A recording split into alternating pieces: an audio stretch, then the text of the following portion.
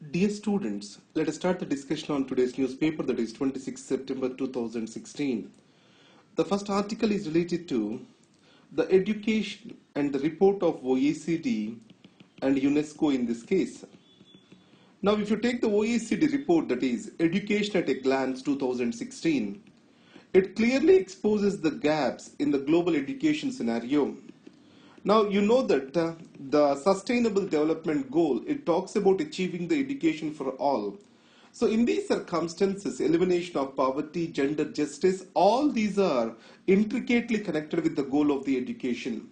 So, in this, uh, as per the demand for the higher education, it has increased across the globe and it has got uh, discrete connectedness with um, the wages which are earned by the employees and average salaries and also livelihood standards taxes paid by them to the government, everything is going to increase.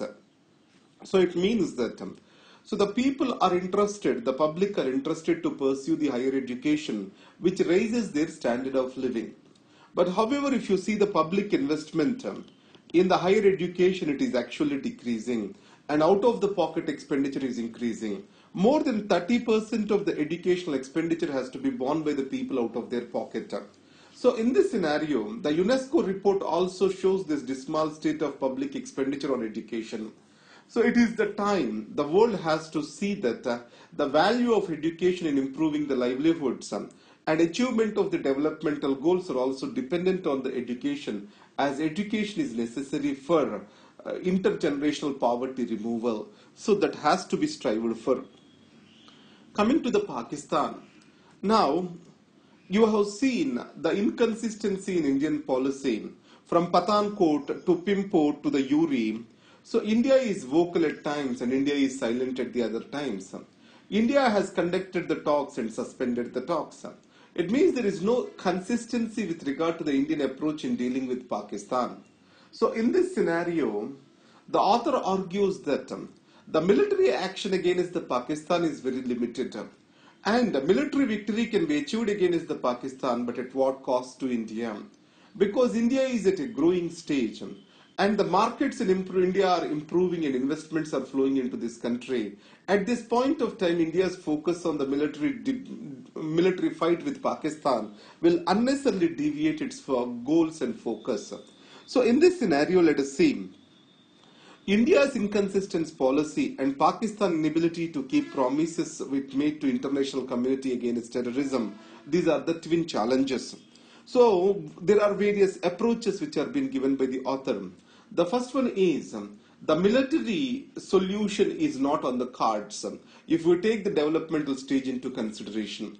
The diplomacy has to take the high seat. But however, in the diplomacy, Pakistani inconsistency is the major challenge. So, India has to ensure that um, the diplomacy need to be uh, properly articulated um, and Pakistan shall be seen as an irritant in the grand strategy and the strategy shall not fo focus on the Pakistan itself. Pakistan is a nation through which um, the China and many other countries are trying to fire against India. So that's why the Pakistan is a small nation or irritant and India has to focus on the grand strategy with regard to the dealing of global affairs. And the second in Pakistan, there are multiple power centers. One is the civilian government, the other one is military government. India-centric policy of the Pakistan, it is in the hands of the military government and military's very existence lies in proving itself to be standing to the Indian army. So in these circumstances, India is not negotiating with the military. So India has to develop a discrete negotiation mechanism with the Pakistani army. But however, it has to be a back channel negotiation because if the military gets strengthened, it will threaten the civilian government further in Pakistan. And coming to the third thing, the Uri uh, attacks, if you see, these are happening when Kashmiri agitation is growing on. The intention of the Pakistan is very clear over here. It is to expose the international community, the Pakistan, the Kashmiri violence and action of the Indian state. So, taking the Indian Kashmir or taking the Kashmiri people and gaining the peace in the Kashmir is of utmost importance for India. And if you take the Arthashastra, it has been clearly said that A king who takes the people along with him, who has the support of his subjects, he can do anything and everything. So having the support of one's own people is very critical to win the war against the Pakistan. So these are the things which we need to do against Pakistan. Now, finally a deal has been signed with regard to the Rafale jets from France. Now, multimodal multimodal air fighter aircrafts, uh, India has called for a tender, but Prime Minister has finally made it as a government to government deal and a direct purchase from the France. Because of this, the huge amount of the money is saved for government of India. But if you take this, uh, the France jets, um, these are the state of the art jets, um, and they have missiles coming within the package. So beyond visual range, air to air defense missile with a range of 150 uh, kilometers, and then uh, air to ground missiles with a range of 300 kilometers. These are the two sets which are coming with it, and these are nowhere uh, uh, exists in this particular part of the region. And added to that, um, till now we are using Mirage 2000 as the nuclear uh, capable aircrafts or jets. The Mirage 2000, their lifetime is about to end. So these Rafale can uh, replace the Mirage aircrafts as the credible nuclear carriers um, which are necessary for the second strike capability of India. But there is a catch over here. Now India still now is majorly dependent on the Russian jets. uh, and it is also developing a fifth generation fighter jet along with Russia. So in this scenario, the French jets um, and uh, Indian Tejas all make the composition a bit complex.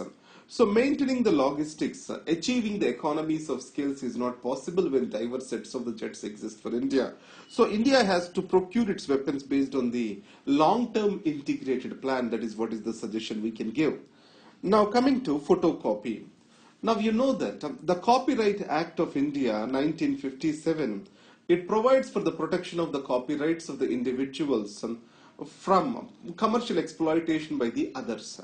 So in this context the recent judgment of the High Court of Delhi in the Chancellor, Masters and Scholars of University of Oxford versus uh, the Rameshwari Xerox photocopy shop in uh, uh, New Delhi University. So in this case, what it has said is, um, so there are certain exceptions and there is a fair deal has to be ensured between the right to dissemination of knowledge and the rights of the copyright owner. A fair deal has to be struck. But what is this fair deal was not clearly explained and judiciary has made interpretations of it uh, in a case-to-case basis.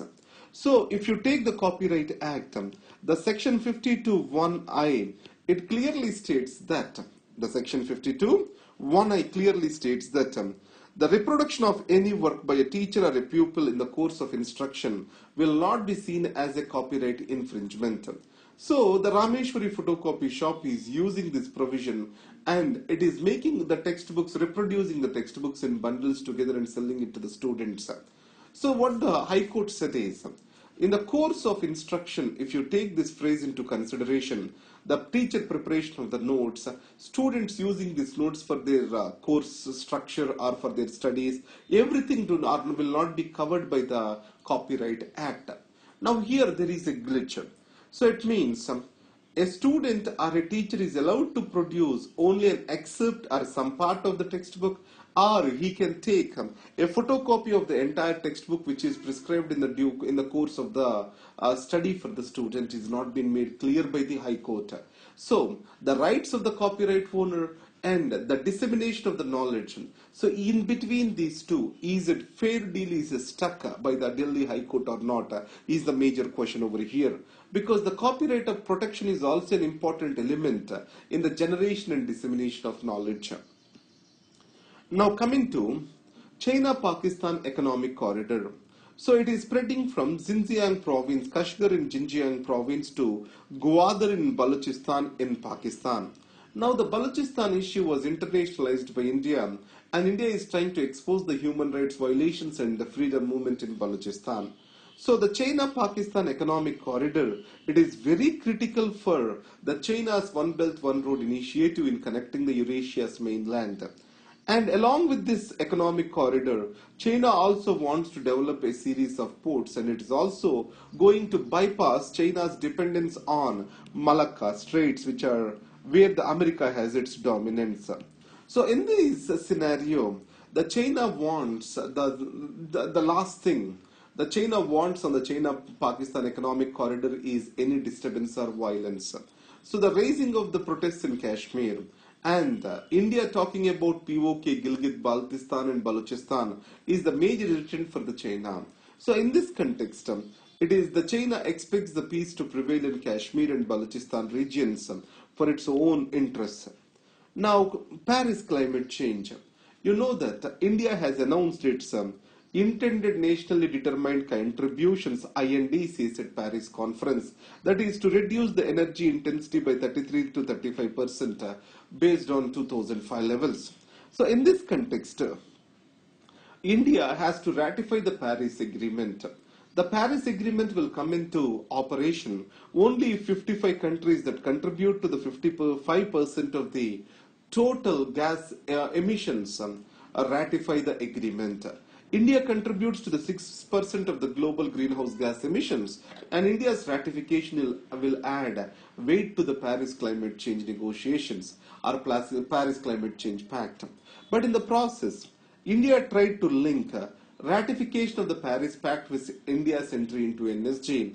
But however, now it made clear that uh, both of them will be independently pursued and there is no trade-off between these two. Now coming to disparity between the states growing.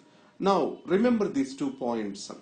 In India, the poverty reduction is high among the rich states compared to the poor states.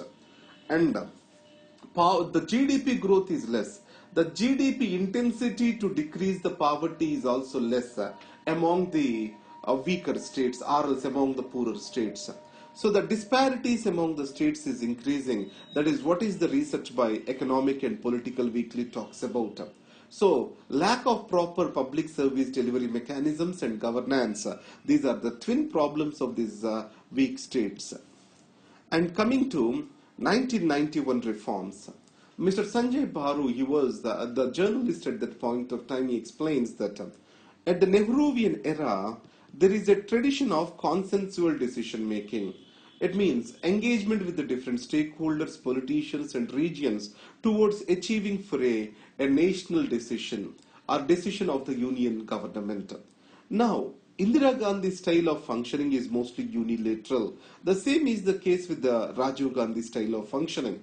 But however, the Nehruvian consensuous style was revived by the P.V. Narasimha Rao and it is the reason for the success of the economic reforms.